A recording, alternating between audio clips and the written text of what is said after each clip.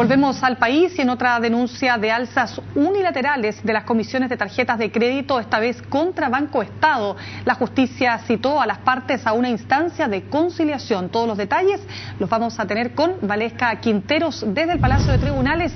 ¿Cómo estás, Valesca? Muy buenas tardes.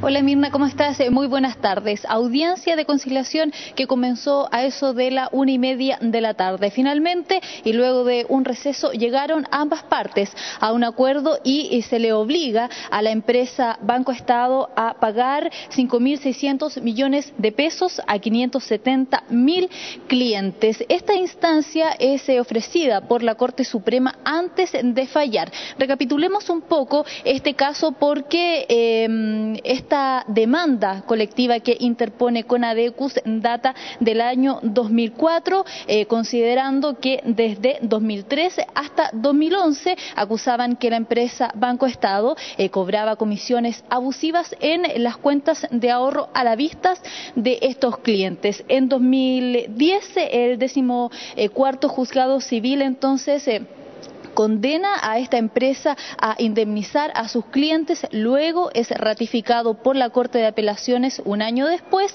y finalmente entonces eh, en esta instancia se decide el futuro de estos clientes que deberán ser indemnizados eh, a partir de 40, 45 eh, días más digo, donde se haga efectiva entonces esta conciliación, este acuerdo entre ambas partes. A partir de ese día entonces el Banco Estado ofrece pagarle a los clientes directamente en sus oficinas. Solamente con el carnet de identidad del cliente afectado podrá dirigirse hasta ese lugar. Sin embargo, desde Conadecus y también desde el CERNAC presente en esta audiencia de conciliación han hecho el llamado a todos estos afectados a revisar sus cartolas mensuales para saber efectivamente cuánto es lo que se tiene que devolver. Incluso eh, hay personas que se le cobraron hasta 200 mil pesos de comisiones abusivas eh, durante todo el tiempo que mantuvieron estas cuentas de ahorro a la vista. Así es que es eh, un nuevo caso respecto a los consumidores y que para muchos eh, es calificado como eh, bastante importante que marca un precedente frente al respeto eh, a los consumidores y el no cobro de estas eh, em, comisiones abusivas o cláusulas abusivas.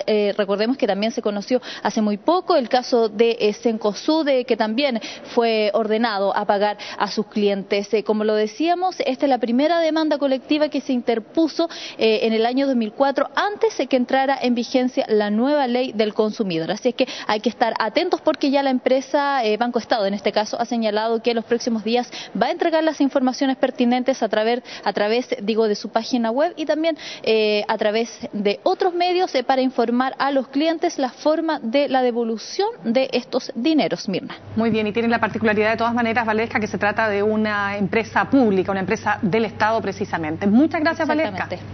Chao, buenas tardes.